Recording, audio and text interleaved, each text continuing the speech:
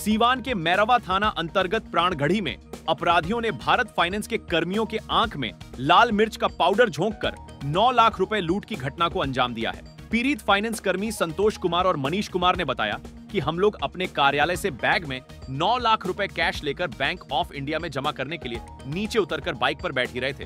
तभी तीन की संख्या में आए अपराधियों ने आँख में मिर्च का पाउडर झोंक दिया। हम लोग जब तक संभल पाते, तब तक अपराधी रुपयों से भरा बैग लेकर फरार हो गए। लोग, मैंने कैश जो कल्हे का कलेक्शन था, वो बैंक डिपॉजिट करने के लिए जा रहे थे। हम और बीसीएम सर दोनों लोग कैश डिनोम बना करके जैसे ब्रांच से नीचे उतरे हैं, और जैसे बाइक पर चढ़े हैं, वो मिर्चाई का जो मिर्चा हम लोग के आँख पर झोंक करके, और बैग को गिरा दिया है, उसके बाद पैसा लेकर फरार हो गया वही लूट की सूचना मिलते ही मौके पर पहुँची पुलिस और एसआईटी की टीम। घटना की छानबीन में जुट गई है।